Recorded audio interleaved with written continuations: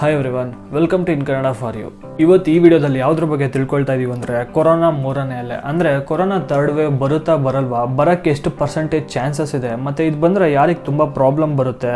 ಅಕಸ್ಮಾತ್ ಏನಾದರೂ ಬಂದರೆ ಗೌರ್ನಮೆಂಟ್ ಇದನ್ನು ಫೇಸ್ ಮಾಡೋಕ್ಕೆ ಯಾವ್ಯಾವ ಥರ ಜವಾಬ್ದಾರಿಗಳನ್ನ ತೊಗೊಳ್ತಾ ಇದ್ದಾರೆ ಅನ್ನೋದನ್ನು ಈ ವಿಡಿಯೋದಲ್ಲಿ ತಿಳ್ಕೊಳ್ಳೋಣ. ಅದಕ್ಕಿಂತ ಮುಂಚೆ ನೀವು ನಮ್ಮ ಚಾನಲ್ನ ಸಬ್ಸ್ಕ್ರೈಬ್ ಮಾಡ್ಕೊಂಡಿಲ್ಲ ಅಂದರೆ ಸಬ್ಸ್ಕ್ರೈಬ್ ಮಾಡ್ಕೊಳ್ಳಿ. ಮತ್ತು ಈ ವಿಡಿಯೋಗೆ ಒಂದು ಲೈಕ್ ಕೊಟ್ಬಿಡಿ. ನೀವು ಕೂಡ ಒಂದೊಂದು ಲೈಕ್ಗೆ ನಮಗೆ ವೀಡಿಯೋಸ್ ಮಾಡೋಕ್ಕೆ ತುಂಬ ಮೋಟಿವೇಶನ್ ಕೊಡುತ್ತೆ.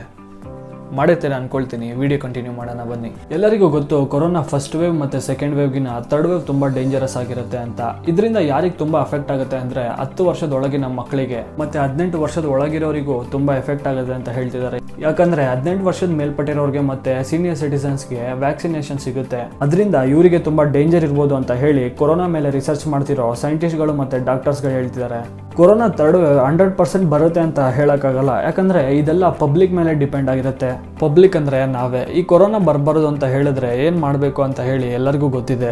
ಎಕ್ಸಾಂಪಲ್ಗೆ ವ್ಯಾಕ್ಸಿನೇಷನ್ ಹಾಕ್ಸ್ಕೊಳ್ಳೋದು ಸಿಕ್ಸ್ ಫೀಟ್ ಡಿಸ್ಟೆನ್ಸ್ನ ಮೇಂಟೈನ್ ಮಾಡೋದು ಕರೆಕ್ಟಾಗಿ ಮಾಸ್ಕ್ ಹಾಕ್ಕೊಳ್ಳೋದು, ಮತ್ತು ಅನ್ನೆಸೆಸರಿಯಾಗಿ ಹೊರಗಡೆ ಓಡಾಡೋದು, ದಿನಕ್ಕೊಂದ್ಸಲ ಶುಂಠಿ ಕಷಾಯ ಕುಡಿಯೋದು, ಈ ಥರ ಎಲ್ಲ ಮಾಡಿದ್ರೆ ನಮಗೆ ಗೊತ್ತು ಯಾವುದೇ ವೈರಸ್ ಅಟ್ಯಾಕ್ ಆಗಲ್ಲ ಅಂತ ಹೇಳಿ.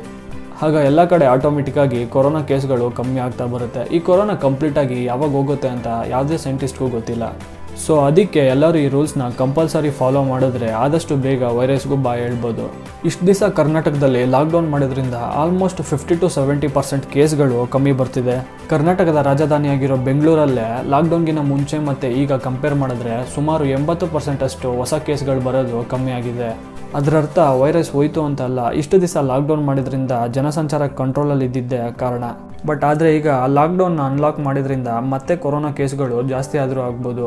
ಅಕಸ್ಮಾತ್ ತರ್ಡ್ ವೇವ್ ಬಂದರೆ ತುಂಬ ಡೇಂಜರ್ ಆಗಿರುತ್ತೆ. ಅದರಲ್ಲೂ ಮಕ್ಕಳಿಗೆ ತುಂಬ ಎಫೆಕ್ಟ್ ಆಗುತ್ತೆ.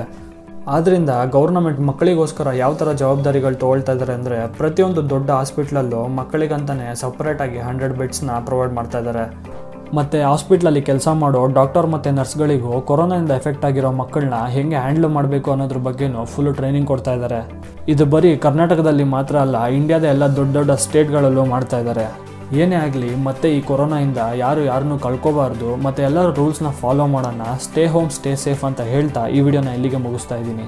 ಈ ವಿಡಿಯೋ ನಿಮ್ಗೆ ಇಷ್ಟ ಆಗಿದ್ರೆ ಲೈಕ್ ಮಾಡಿ ಶೇರ್ ಮಾಡಿ, ಮತ್ತು ಮರಿದಿರೆ ಸಬ್ಸ್ಕ್ರೈಬ್ ಮಾಡಿ. Thanks for watching